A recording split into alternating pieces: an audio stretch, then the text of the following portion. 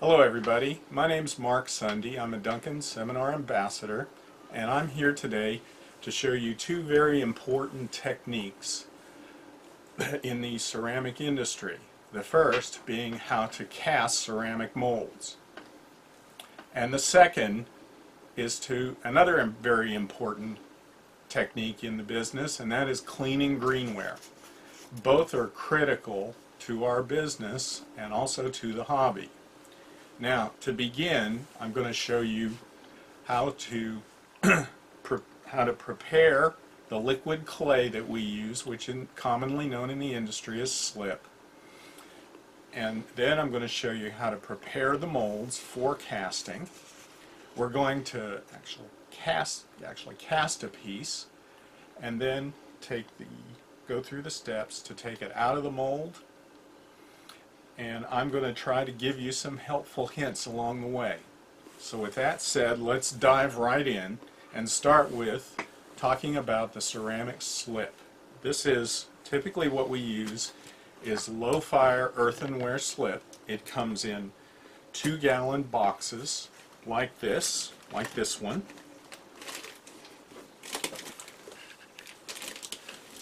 And you take a cutting tool open the box and I'm going to show you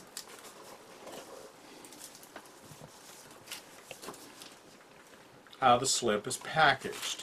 See it comes in a bag and contains about and contains two gallons. Now a box like this, because it's two gallons, weighs about 30 pounds, just as a, a point in discussion. Now basically what we do with this is take it out of the bag and put it in a suitably sized bucket. And I have a three gallon bucket here that I've already got some slip put in. So I'm going to have, I'm going to show you that next.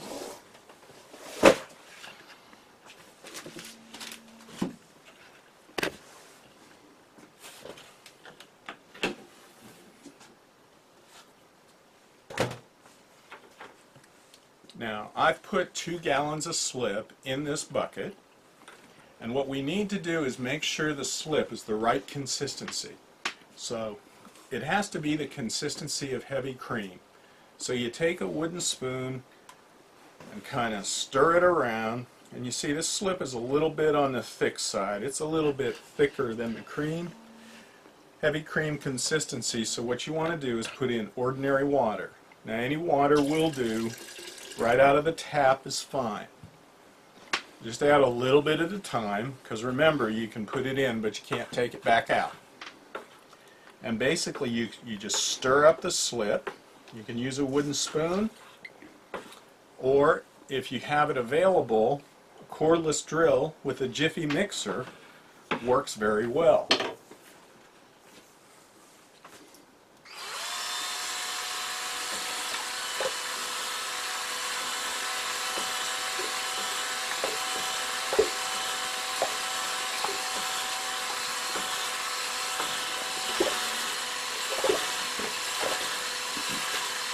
Don't have to be exact on the consistency of slip, but what's important here is that slip is not too thick.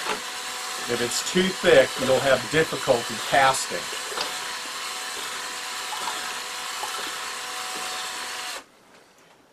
Now different manufacturing companies that make slip, the, no two are alike. They, their slip comes out of the, of the boxes at different thicknesses so you just basically have to work with what you have and get this see to the consistency of heavy cream. Okay? Now let me put that aside for right now and go to the next step in the casting process which is preparing the mold. Now molds typically come, when you buy them brand new, they come with these shipping straps. Some are plastic, some are black rubber. Um, what you have to do is take these straps off and throw them away. because it's very important you do not use these to cast your piece with. These are only for shipping purposes and they're usually not tight enough. Also, they keep you from doing another very important part of the casting process, which is cleaning out any foreign material out of the mold. Now, as I said, you take these and you throw them away. Now, depending on how the mold has been shipped, there's there might be dust or from the from the manufacturing process, or there may just be dust or dirt and foreign material from the shipping process itself. So, what you need to do is take the mold apart and use a dusting brush to go through and wipe, just brush out any dust or loose debris that's in the mold. Now, if you have compressed air, you can use that too. Compressed air is a very handy thing, but not everybody has access to it. And you see, I'm taking the time to clean out this mold because the reason for this is whatever is inside the mold is going to get trapped in the greenware. And any type of foreign material like shipping material, uh, dust and everything, it'll show up in the, in the greenware itself. And that'll lead to poor quality greenware. And that's not what you want. So basically now I have cleaned up the inside of the mold.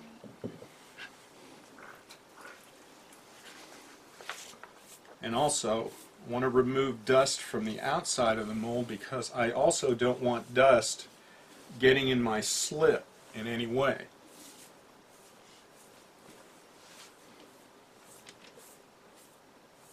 Okay. Now, I've got my mold ready for the casting process. Now, what we have to do next is put straps on it. Now, there are two devices out there for available for securing a mold. One is called a locking strap. It has a metal clasp on it with typically a nylon cord and they come in different lengths. Okay? And I'm going to show you how to get this strap ready to put on the mold. Now as I said the straps come like this. What you want to do is open the face plate so it's laying open like this in your hand. Take the end of the nylon cord and you put it in through the back and down through the front.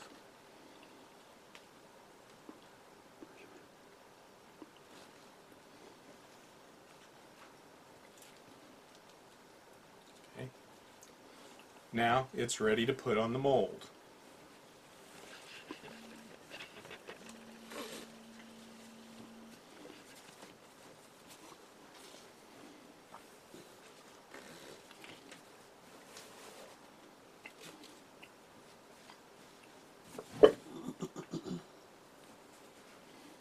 It is very important that a mold be secured like this.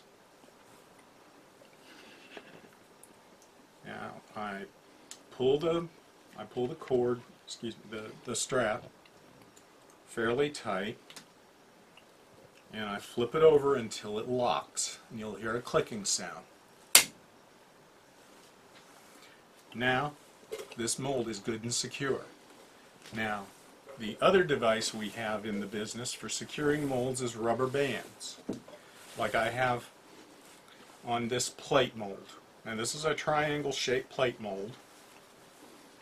And just like just like this mold, I have to prepare it for the casting process. Now this mold has been used before That's why the straps, the white straps aren't on it.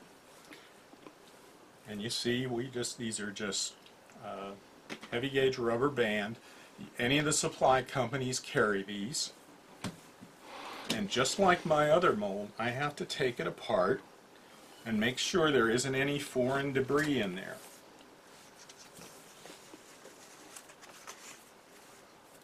Now you can see on this mold, from the last time it was cast, it has a little bit of clay slip on the inside of the mold. Now I just use a damp sponge and ordinary tap water and I clean it up. See this little bit of residue from the last time it was cast? We want to take that off because we don't want any of that debris in our greenware. And likewise with the bottom half of this mold.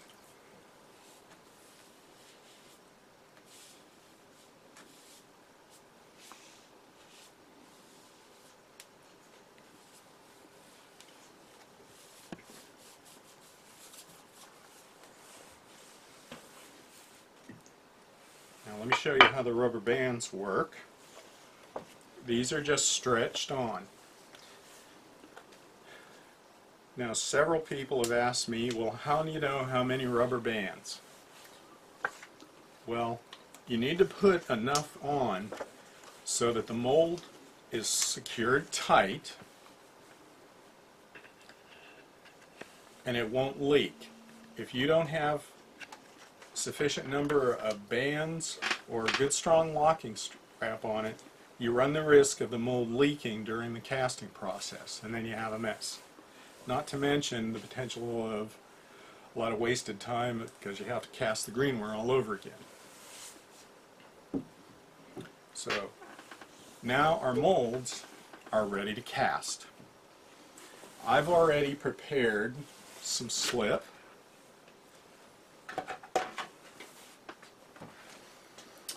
And I need my wooden spoon again for the next phase. I'm going to make sure that the slip is the right consistency, and it is. It's a consistency of heavy cream. Now, the actual, let me talk about the actual casting of the mold. And that's just the putting the slip inside the mold. Now there's a couple of things you need to be careful of. One is you want to try to avoid causing hot spots. Now, hot spots occur when greenware hits the surface of a mold, the first point where the greenware hits, because there are little platelets in the in the slip that thicken as the as the mold draws water. And if you get it if you get it concentrated at that one spot, as a result of pouring the slip directly in, that's what causes the hot spot. It's actually a dense, they're a, they're a dense section of the greenware. And um, when you work, when you fire the piece, the end result is you see a discoloration in the fired product. Okay? So what we have to do is literally break the fall of the slit. Now, by do, the way to do that, you can do it a couple of ways. One is with a wooden spoon, and I'm going to demonstrate it on this plate. The other is is using the bands themselves to help break the fall. So that's why I purposely put this band over the opening in the mold, which by the way is called a pour gate. This area right in here it's called a pour gate. And I'm actually going to start to fill the mold. Now what I'm going to do is when I pour this, I'm going to hit the band and let it deflect into the mold. That's going to break the fall of the slip. Now when you're filling a mold, you should not stop the pouring process. You need to fill it all the way to the top and it needs to be a continuous pour. See, I'm bringing it all the way up to the edge of the pour gate. Now, the reason for that is if you go too slow or you actually stop in the middle of the casting process, it will leave dark rings in the greenware, which might be difficult to clean out later on. That's why once you start pouring, you need to make sure you have more than enough slip to completely fill the mold all the way to the top edge of the pour gate. Now, over here at our triangle plate mold, you see it has a opening here, the pour gate, and I chose this mold for a reason because a hot spot in the very center here would show in the wear itself. So you really need to do your best to avoid those. So again, I'm going to break the fall of the slip.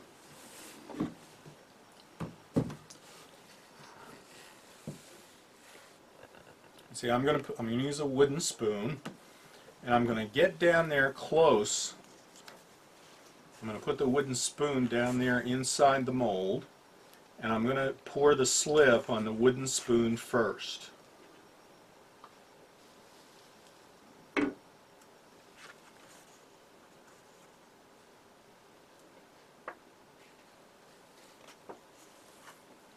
And again, I brought the slip all the way up to the pour gate. Now, another element or another aspect of, of molds is, another characteristic rather, is some molds have attachments. In other words, the design of the mold is such that a company has to make a separate mold so that the piece will look natural or three-dimensional. And a typical, a very typical mold for that to that process to be used on is, is usually a cup because cups have handles. Now in the case of this mold the, the handle is already into the design. The design of this cup is, is very straight. However, in the case of, of this other mold I have here, there's a separate mold that you see has the different handles. And I'm going to show you how to cast this and also later on how to attach this properly. So it looks like the handle was cast into the mold, in with the cup itself. Now again,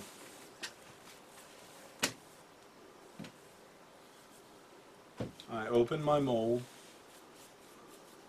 duster brush, cleaning it out.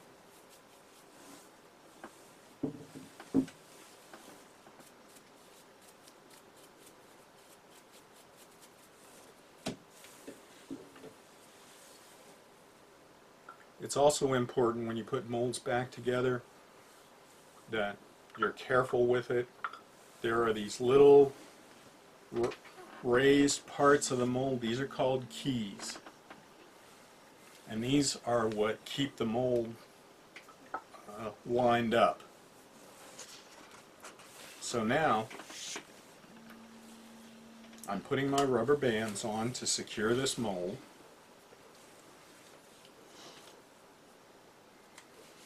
Now, typically with handles like this. I highly recommend that you pour them solid.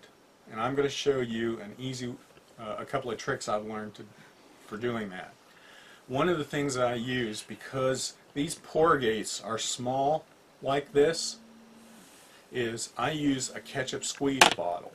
And you can get these pretty much anywhere. It's just an ordinary ketchup squeeze bottle. Okay? Now, what I'm going to do is use the squeeze bottle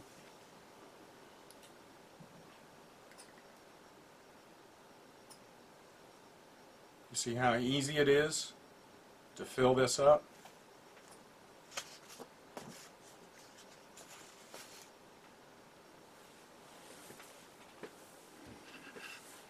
No fuss, no muss, and no mess.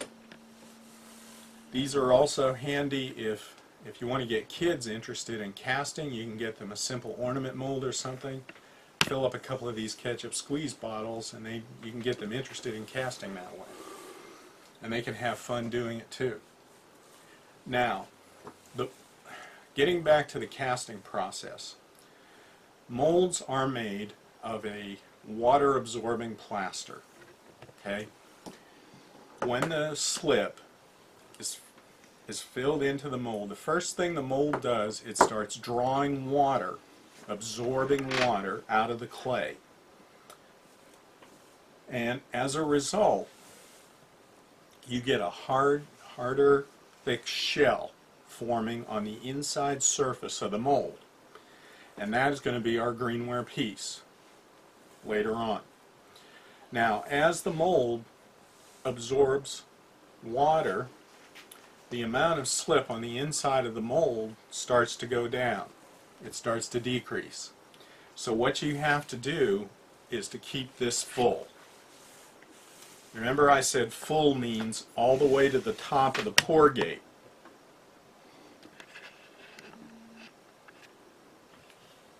Now there's a reason I'm recommending this is because this is a good way if you keep this full then you'll have a very good way of testing the thickness of the slip later on, and I'm going to show you how to do that later on in this webinar. But for right now, I've got the molds filled, and especially if you look here at my attachment mold, you can see, usually with small openings like this, the shrinkage happens faster, the shrinkage of the slip. So, I just get my ketchup squeeze bottle, and I keep this baby full.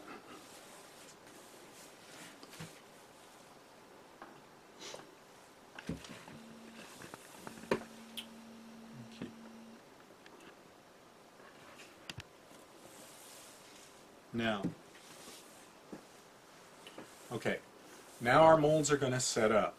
Now, it depends on if you want to know how long it takes for a mold to set up like this, it depends on several conditions. Okay, the main thing being the environment you're in, the temperature, the humidity. If it's cold, it tends to take longer. If it's uh, hot, humid, okay, the molds absorb water slower, so it takes a little bit longer. So I can't actually say for this size mold, it takes a certain number of minutes. I can't say that exactly. Uh, ceramics is not an exact science. A lot of things you do, you have to do by, by sight and, and sometimes by feel as well. Also, getting to know the molds that you have and how they behave. Different manufacturers make molds different ways, and they also make them in different parts of the country so that the environment that they're made in is a little bit different and has an effect on the molds. But for the most part, what we do is we let a mold set up until they get the thickness of what I call two nickels. When you put two nickels together, and that's approximately about an eighth of an inch. So, an eighth of an inch or greater. If you make it any thinner than that, then the piece will come out and it'll be much more fragile than you really want it to be. And it'll be difficult to work with. So it's, it's highly recommended that all your pieces be at least double nickel thickness or about a quarter, excuse me, about an eighth to a quarter inch thick. However, there is one exception that um, I've learned over the years, and that is with serving pieces like plates or platters. And uh, oddly enough, that's why I chose this plate to demonstrate to you, is because what I like to do is um, I like my plates and platters to be very thick. almost solid, if not completely solid. The reason being is plates, platters are, are what we call utility pieces. We use them to serve food and drink on. So I like them. They're, they're going to be handled more. So they got to be a little tougher, a little more durable, or at least they should be. That's why what I'm doing with this plate now is I'm going to let it go beyond or bigger than double nickel thickness. What I'm going to do is let it go to the thickness of the plate itself, which is at least about a quarter to three eighths of an inch. Now this may take as much as an hour for it to set up. As I said, it depends on the environmental conditions. Uh, today is not a bad day, it just happens to be nice and sunny and warm, so these things would probably set up, I would estimate, in about 25 minutes for the cup and about 35 to 40 minutes for this plate. But those are just guesses, folks. You really need to go by the thickness of the slip. And the only way to do that is to keep these molds full. Now, in the case of attachments, I also like these things, generally like handles like this. I like these to go solid as well. So I just keep this full, and this pretty much works on any mold that you have attachments that you want to go solid, like handles like this. If you just keep it full of slip until you observe that the shrinkage here stops, then you know that this handle itself is good and solid. And that's why you have to you have to keep an eye on these things during the casting process. So at this point we're at a stage where you have to basically babysit your molds, watch them, keep them full. And when we come back, I'm going to show you how to take the greenware out of, out of excuse me, dump the slip out of the molds and then proceed on to taking the greenware out of the molds. Welcome back. Okay, our molds have been sitting for a little while now and the slip has formed a hard ring around the edge here in both the plate and the cup. So what I'm going to do now is show you how to test the thickness of the ware. Now this is a mold trimming tool Again, you can buy these from any of the supply companies. They're pretty common out in the industry. And I'm going to use this and show you how I test the thickness. Now, as I said, I've kept the slip to the top edge of the pour gate. Now what I'm going to do is I'm going to insert this tool, this the skinny end here, down into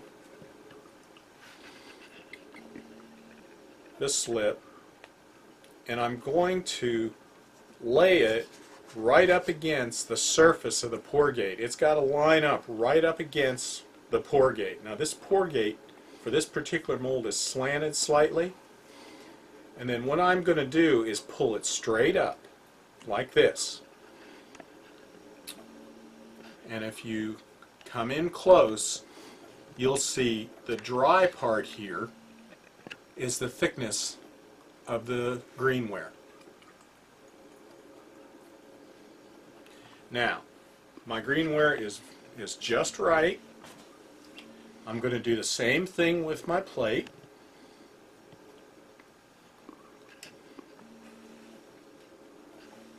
So my plate is also sufficient thickness.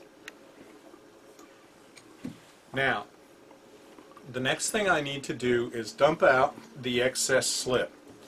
Now, you should not do this too fast. If you do, you may cause a suction in the mold and cause the piece to collapse in on itself.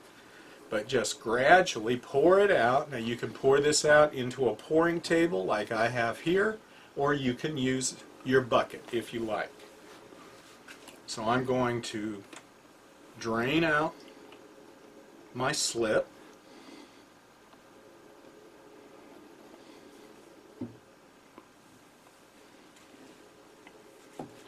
Now, I'm leaving the mold upside down to let it drain. Now, if it it should drain really until you get maybe two or three drips a minute. But it's going to take a couple minutes for that to drain out. Now, I'm going to drain out my plate.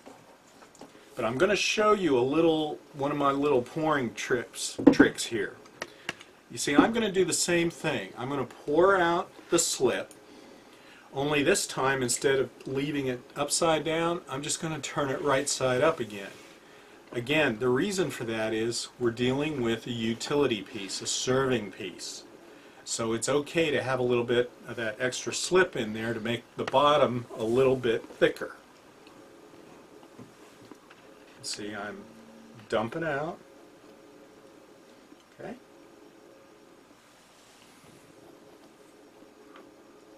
And I'm setting it right back up. Now, the molds at this point, let me see how my cup is doing. Okay, looks good. Now, here's another one of my little uh, pouring tips with a cup where the handle is already in the mold, in this one mold. Okay. Again, I mentioned earlier that it's a good idea for handles to be solid on cups. So a, a little trick, little tip here is when you're letting it set up to dry, let it sit on its side with the handle pointing down. The slip that's left over on the inside here will collect at that handle and keep it solid. And that way you won't have any possibility of any air trapped in there or leave a pocket in the handle itself. Okay?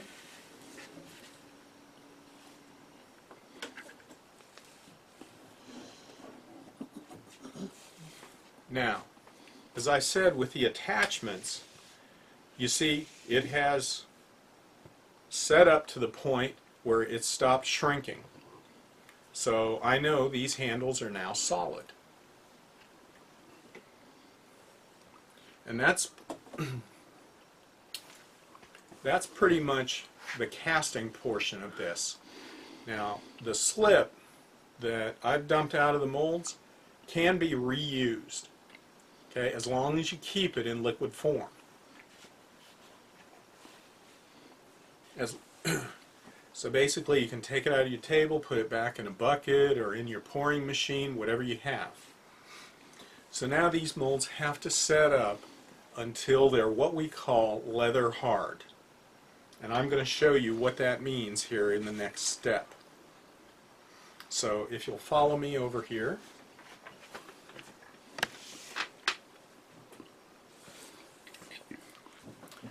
I have a mold here that I poured earlier today. It's a cut mold.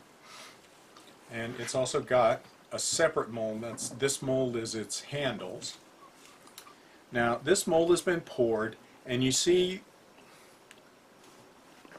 as I show you on the inside here it has no shine and it has kind of a rubbery feel to it.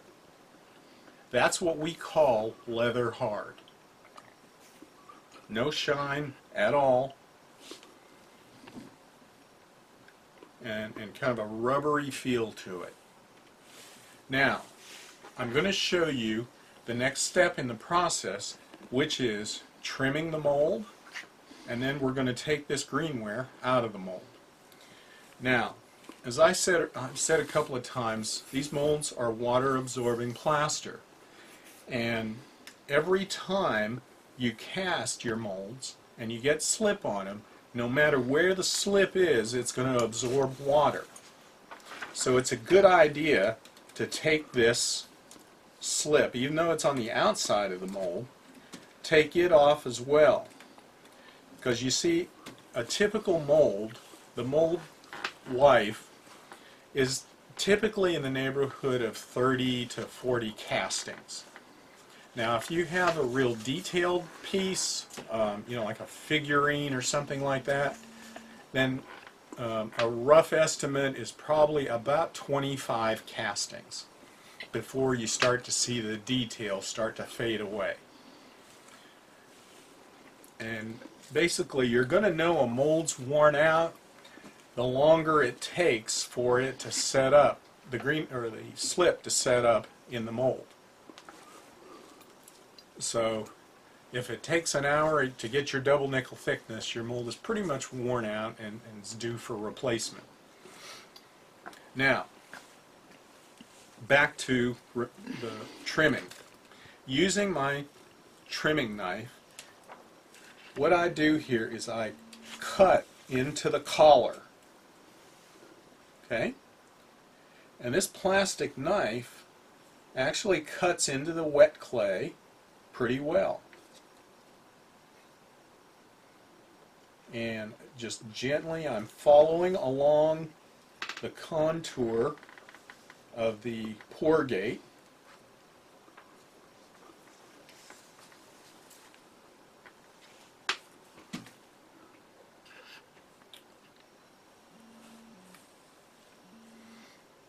And this can be discarded. Now, and what this does for you is it leaves a nice clean rim. Makes it easier for the piece to clean. If you just take and rip this out, okay, it'll it'll it may cause tears in the greenware itself. It's much easier if you trim it out. Now, some molds may not allow you to do that. For example, this attachment mold. It's not really made suitably for trimming out. But this is again getting to know your molds. Most molds do you do have the ability to trim out the collars. Now, as to removing the greenware, which is our next step in the process. I lay the mold down on its side.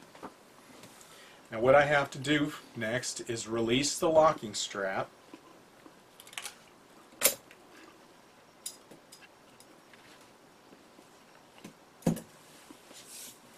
Now, the way you tell whether a mold is ready to release the greenware or not is if it separates easily. If it resists in any way, then you have to let it sit in the mold a little bit longer. You also run the risk, if you take a piece out too soon, it's, if it's still too wet, it could collapse on you. So basically, you have to just gently tug on the mold and if it freely and easily releases, then you know the piece is dry enough. You want to lift this straight up off the greenware. If you pull it off at an angle, you could risk tearing or warping the greenware. So again, I lift it straight up.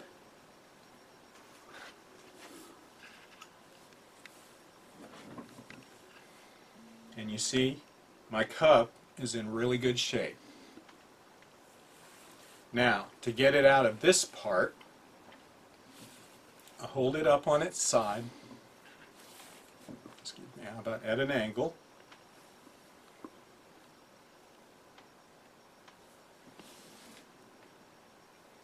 And I just gently slide it out. And see, here's your wet greenware. Now, word of caution at this point.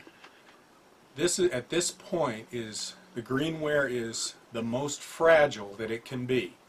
It's not only it's not only the raw ware, it's extremely wet. And it's going to take at least 24 hours for this to dry.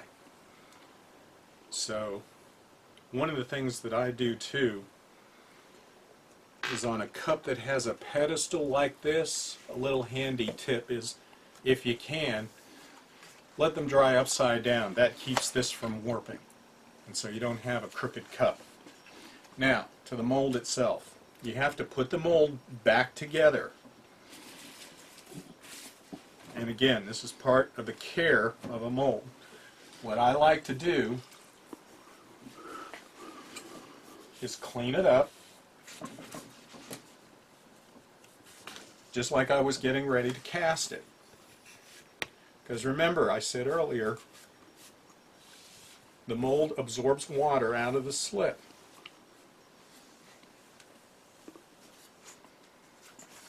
And the more slip you leave on a mold, the more it keeps absorbing and it wears out quicker.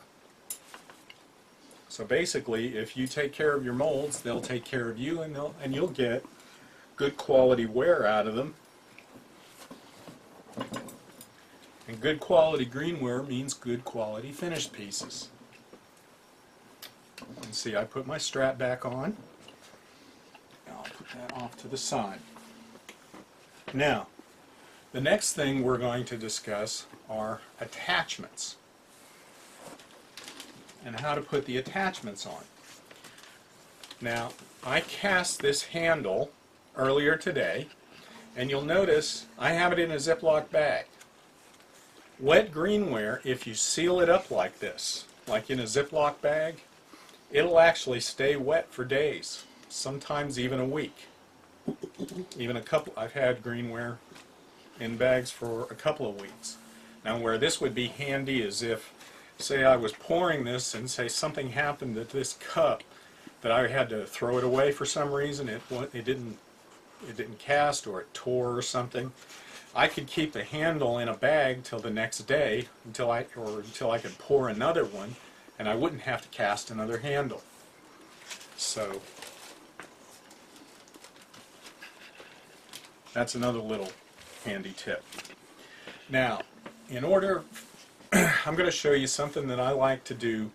Um, I make thickened slip for attachments. And now what I have here is a four ounce jar and I've filled it almost full with our ordinary slip. And I take and I take cider vinegar. Okay? And I put in about a teaspoonful of cider vinegar.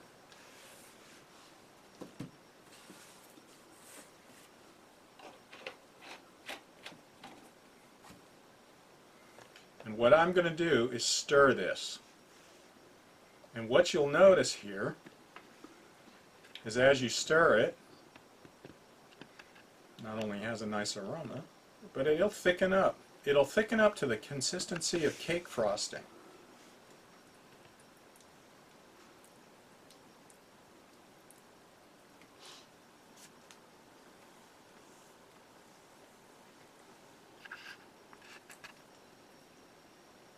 That?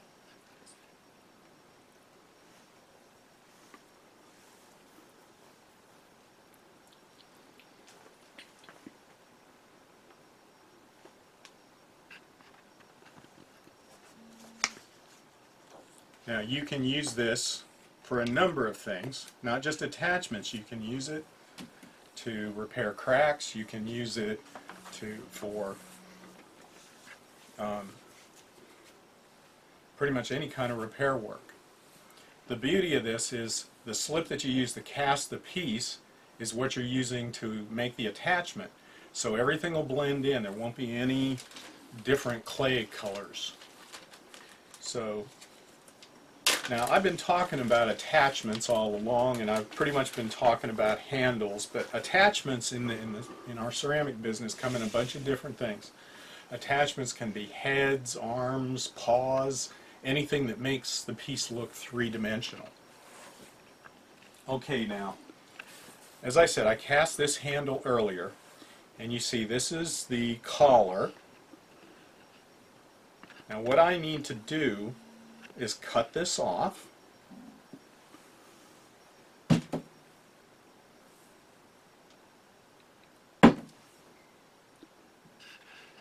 And you, see, you can see here that I was successful in making it solid.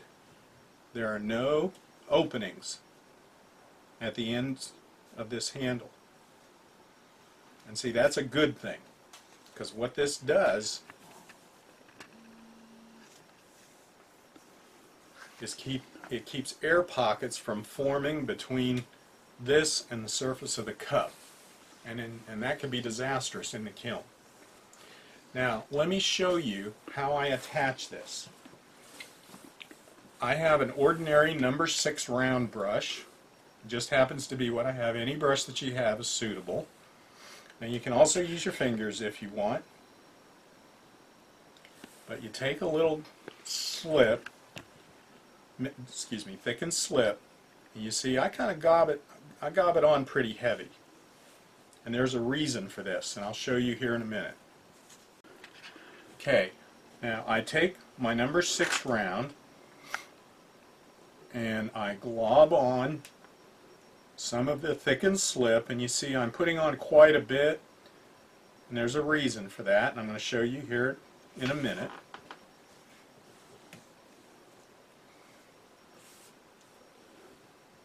Now I locate about where I want to put this handle and I apply a little bit of pressure and you see you'll notice that the thickened slip oozes out the sides. Now what that's doing is making a solid seal between the handle and the cup.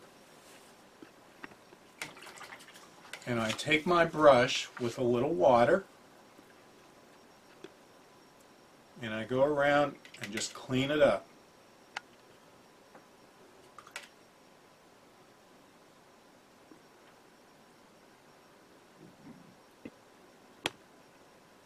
And see what you'll have as an end result here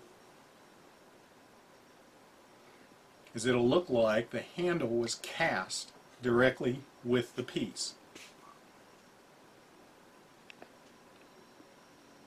And that should be your goal with attachments. You should try to make the seams disappear as much as you possibly can. Now, this, this piece is ready for the drying process. And basically, when you, at this point, you basically want to leave it alone and let it dry at least 24 hours. You can put it in front of a fan. That's okay. You can even put some kind of a blower on it, but you just can't use heat. Heat will cause uneven drying unless it's, you know, a space heater in a room type thing. But direct heat applied to wet greenware like this is not a good idea and it's not recommended at all. Now, let's move over here and let me talk about uh, taking plates out of the mold. My plate mold, see, has gotten leather hard. Just like we did before, I cleaned off some of this excess slip.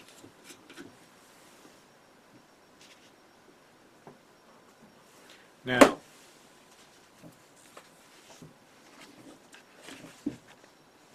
I'm taking off the bands, the rubber bands.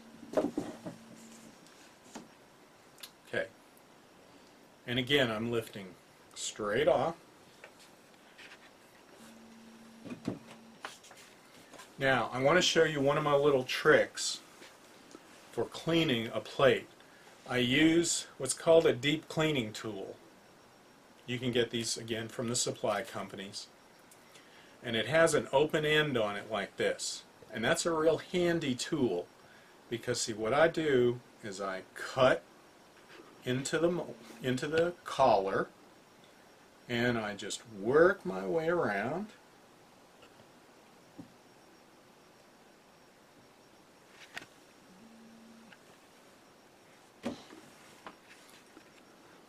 and you see I've got a nice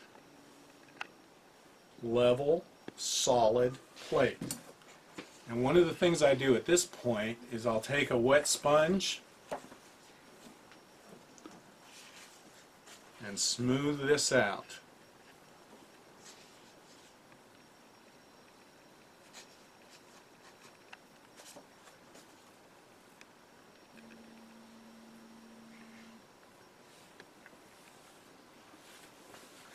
Now there'll be, see there's no openings in the bottom of this plate.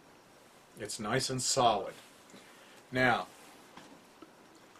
as I said, um, slip shrinks when it's in the mold. Well, it continues, greenware continues to shrink until all the moisture is out of it and it's completely dry. So what might happen on, on a curved mold like this is as the slip or the greenware is shrinking, it causes a suction and causes it to grab onto that mold and hold on. It's actually dry and could separate, but there's just actually a little bit of a suction in there.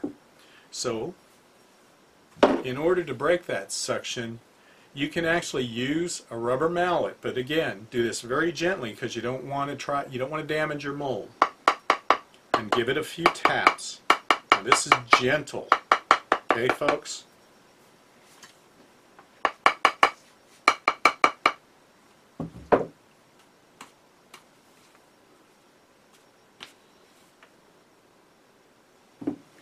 Now, here's a one of my pouring tr tricks, particularly with plate molds. One of the dangers here is plates have a tendency to warp as they're drying.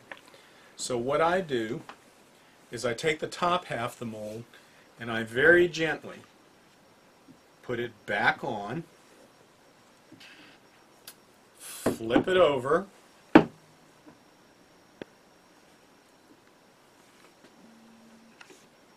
and I actually let it dry in this part of the mold. And what that does is keep it from warping. It helps it retain its shape. And this will work on most plates and platters, kind of depending on how the mold is made. But if you have a mold like this one, here's a handy hit to keep plates and bowls from warping on you. It won't hurt the mold any, and it won't cause the the mold to, to warp or anything like that.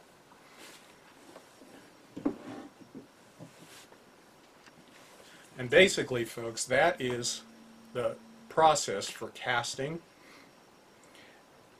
and producing greenware. I hope you enjoy it as much as I do.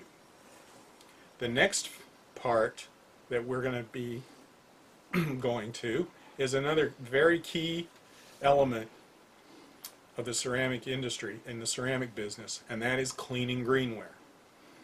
And I'll be back in a minute. Welcome back. Now, I'm going to talk about the next phase in the uh, process of producing good quality ceramic pieces. And that is an extremely important part of the process, and that is cleaning greenware.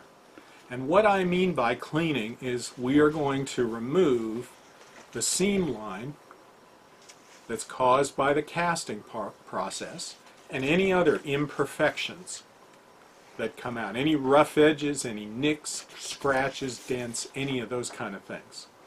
Now the tools we're going to use is called, the first thing is a cleaning tool. Now a cleaning tool is typically a wooden tool like this and it has a triangle shaped blade on one end and a slightly curved blade on the other end on the opposite end.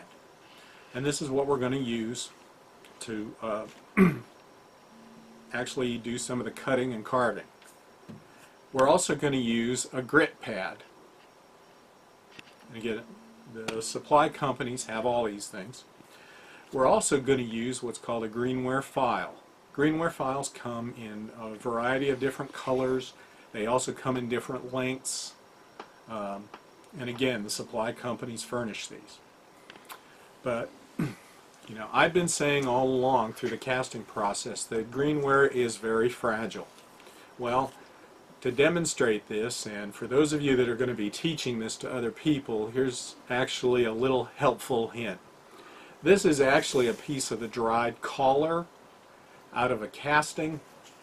What you can do is when you're showing a person to how to be emphasized how important it is that you be very careful in handling the greenware. Just get them a piece of this scrap, okay, and have them break it.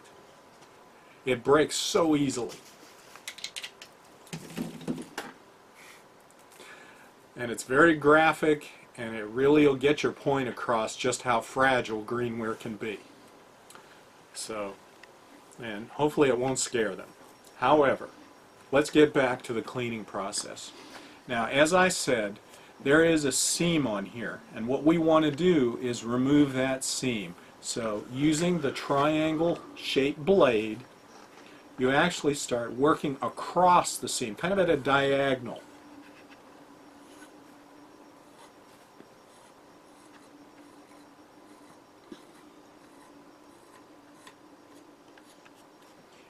Now, with a new mold like this was, the seam is very small. Sometimes as a mold wears, the, the seams will get a little bit bigger. And again, you just have to be careful because when you're doing this scraping here, and see because this is a flat surface, I might want to use my curve end. You don't want to gouge out the mold, the greenware because that'll be very difficult to clean up later.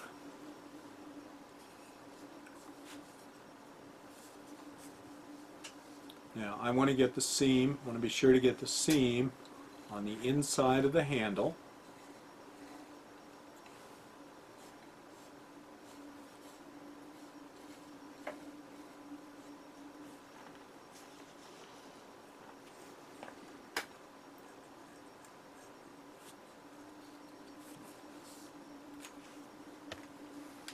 Seam on the opposite side of the cup.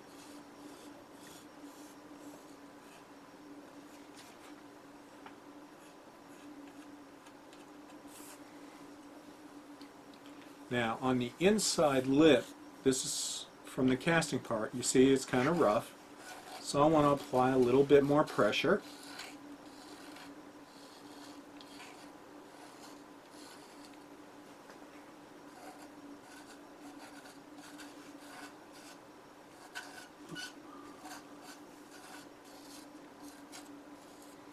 Cleaning of the greenware is a very, very important part of the process because if you ever have an opportunity to enter a piece in a competition, one of the criteria that the judges look at is how well the piece is cleaned. So very, it's very important. But even aside from that, you want a quality piece. You want to turn out pretty pieces. So you want to make the piece look as pretty as you as you can through every step of the process. And that includes, unfortunately, cleaning. Now, using the grit pad is where I go over and I sand gently. I sand over the seam. And you see how nice and smooth that is? That is the effect you're trying to go for. Now the greenware file is good for getting in the hard to reach places, like the inside of the handle. And you don't want to apply too much pressure because you could knock the handle off. But that in itself is not a serious, a serious problem because you can actually reattach the greenware handle using the thickened slip that we made earlier in this webinar.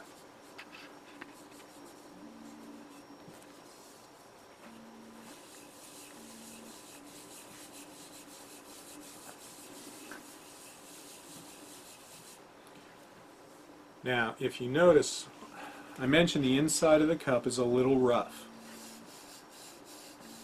Take your time. Don't be in a hurry.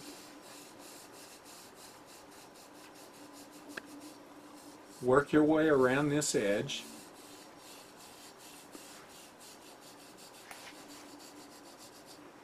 You can also use a greenware file to get down some of these rough edges.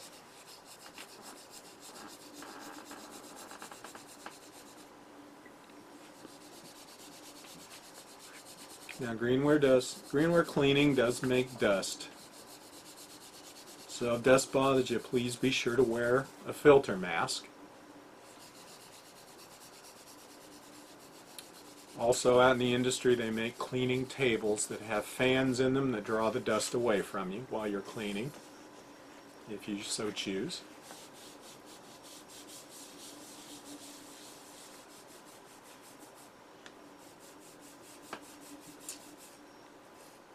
Okay. Now I've got my seams off. I've gotten any little imperfections, any little div dents and divots, things out of my greenware. Now the next part is we want to clean off the dust. Use ordinary sponge and water. But one thing I do is I put in about maybe about a tablespoon of cider vinegar in my water. Now what this does, it actually helps condition the greenware so that it will accept paint better. And also, it helps take care of, uh, if you do happen to have a hot spot, it'll help remove a hot spot. Now, I'm going over this to remove all the dust because dust is one of the, is a very uh, bad enemy of glaze. Dust will cause glaze to do what we call crawl or creep. It'll repel the glaze. So what you want to do is remove all the dust, including down in the inside of this cup.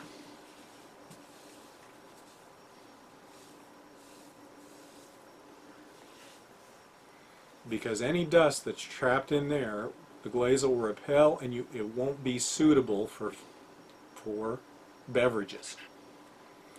Okay, so I have cleaned, I have scraped off all the seams, I have uh, removed any imperfections, and I've removed the dust. This piece is ready for the next step, whether it be firing or whether it be applying some paint like an underglaze. And I want to stress to you, this is, again, this is a very important part of the process, and the piece is only as, is only as good as how well it was cleaned. So with that, that concludes this webinar, and I want to thank you for your attention. And I hope you enjoy ceramics as much as I do. Thank you.